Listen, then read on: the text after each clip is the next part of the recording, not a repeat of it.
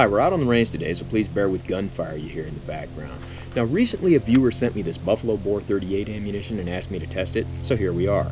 This is Buffalo Bore 38 Special Plus P with a 110 grain copper hollow point. Now, there's a couple of things about this ammunition. One, Buffalo Bore has a reputation for being loaded really hot. It's supposed to be very powerful ammunition. And two, this 110 grain hollow point is lead free. It's just a copper projectile. So how will that stack up against a couple of other types of 38 Special? Now this is Hornady Critical Defense 38 Special Plus P with a 110 grain ballistic tip, and this is Corbon 38 Special Plus P with a 110 grain hollow point. And the test gun I'm going to use today is this Smith & Wesson Model 637 with a 1 and 7 8 inch barrel. I consider it representative of the types of concealed carry 38s most people will have. So let's shoot all this ammunition side by side and see what kind of results we get. We've got our chronograph set up at 7 yards and we'll start with our Hornady critical defense.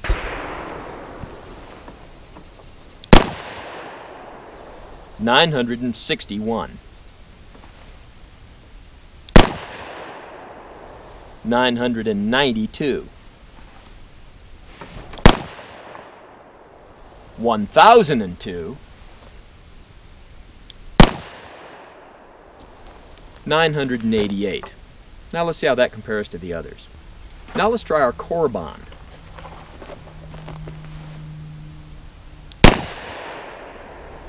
One thousand and seventy-eight.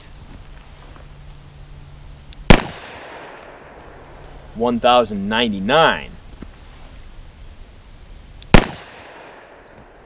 One thousand seventy-six. 1071. Now let's see how those compare to the buffalo bore. And now let's try our buffalo bore.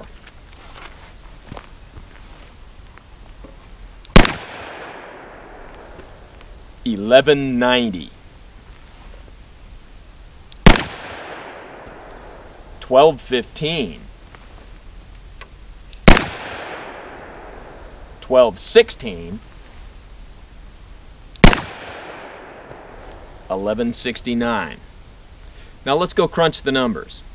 So how'd we do? Now remember these are all 110 grain projectiles, so we'd expect the velocity to be a little higher than the 125 grain projectile that's most common in 38 plus P ammunition.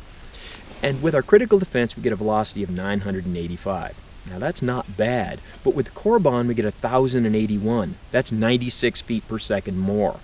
And with the Buffalo Bore we get 1197. That's 116 feet per second more than the Corbon.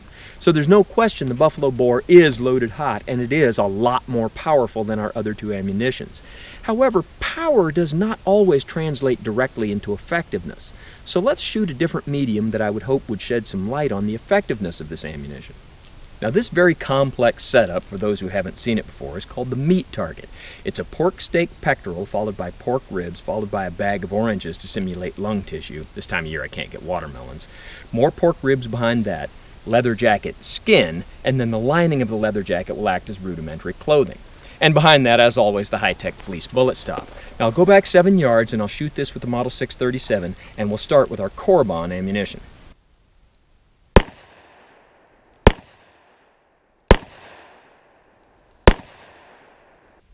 Here's our four projectiles, and you can see that the expansion is pretty good, but inconsistent. And all four of these were stopped by the leather jacket skin on the back of the target. Now let's take a look at the meat target. Now we've got our meat target disassembled, and we see that where the bullets went through on the front, where they hit a rib, shattered it. Did a lot of damage to our orange lung tissue.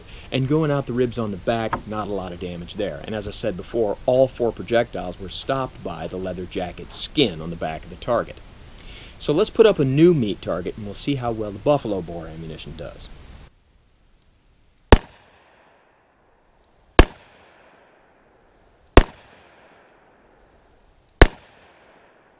And with our buffalo bore ammunition, all four of these hit the meat target. We see one with very good expansion, a couple with moderate expansion, and one that did not expand at all. All of these were stopped by the leather jacket skin on the back of the target. This one made it through to about the 20th layer of fleece. Now with our buffalo bore ammunition, we see that with the ribs on the front where the projectiles hit the ribs, shattered them. A lot of damage to our orange lung tissue. And three of the four projectiles were stopped by the leather jacket skin on the back of the target. The one that wasn't was the one that didn't expand. I'm not going to shoot a meat target with the Hornady Critical Defense because it's a ballistic tip, not a hollow point that could be construed as an unfair comparison. But there is one other type of ammunition I want to shoot.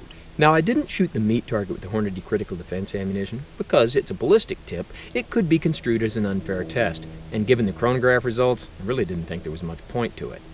However, the two high dollar ammunitions, the Buffalo Bore and the Corbon, seem to give pretty good performance.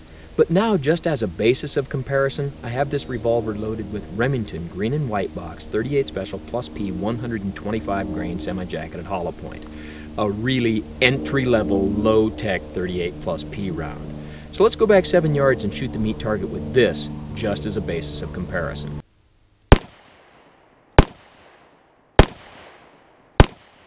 And we see a couple of them with good expansion and a couple of them with mediocre expansion. These two with good expansion were stopped by the leather jacket skin on the back of the target, and these two made it through to about the third layer of fleece. Now let's take a look at the meat target. And now we've got our meat target torn apart. But first, a couple of things. The question comes up a lot, so I have to address it. This is an earplug case, and yes, I wear earplugs with every shot I take. These are shooting glasses, and although I don't wear them for things like paper targets, for things like the meat target, yes, I do use shooting glasses. Now, that having been said, let's see how we did on this with our Remington ammunition.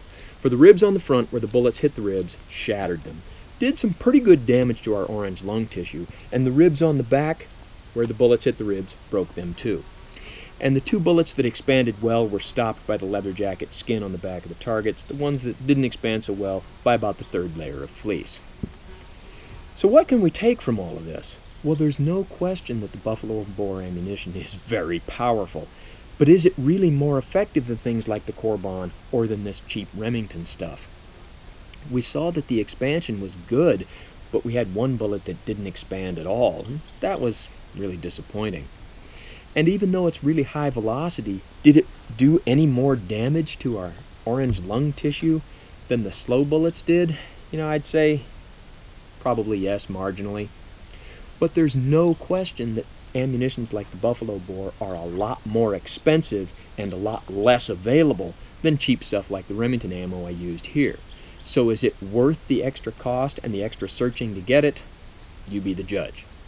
So, as always, don't try this at home on what you call a professional, and thanks for watching the Buffalo Bore Ammunition video.